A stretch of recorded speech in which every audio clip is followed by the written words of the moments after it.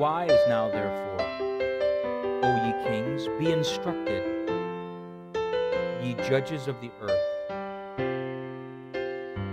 What a tremendous plea from the psalmist to be wise. This isn't the first time we've seen an instruction for wisdom. We, find it all in Psalms, all in Proverbs. To be wise, for the kings to be wise, and to be instructed.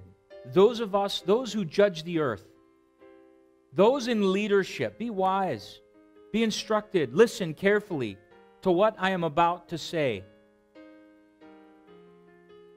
I, I love this. This is this is climactic. It, it's it, this is where the where you really see the strength. I think of this this chapter. I think it rests here. I think it rests here on verse 10 and it transitions into verse 11. This plea for the kings of the earth to be wise, the judges to be instructed, basically. He says this in verse 11 Serve the Lord with fear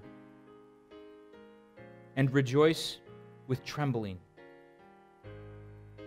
These are great components to serving God. I don't think, and again, I just, I don't think that you can truly serve the Lord without fear. I don't think you can. And if you can, you can just, I mean, it's not going to be as subs, uh, substantive as if you do have fear. Fear is a good thing. Fear is a good thing. We're to serve the Lord with fear and rejoice with trembling. Now, here's the interesting thing this is a plea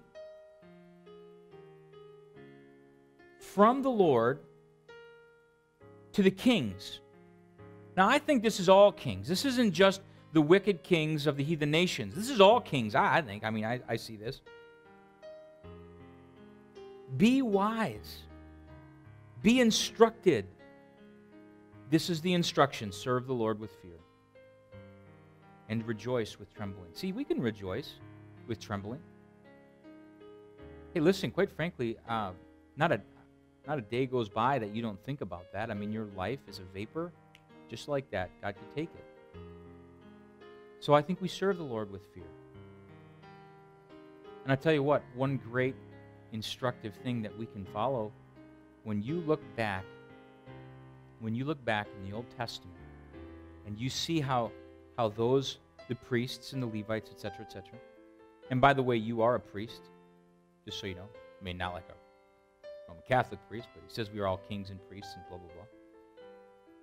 But when you look back and you see how the priests served the Lord, they served the God with great fear. They served God with tremendous amount of fear.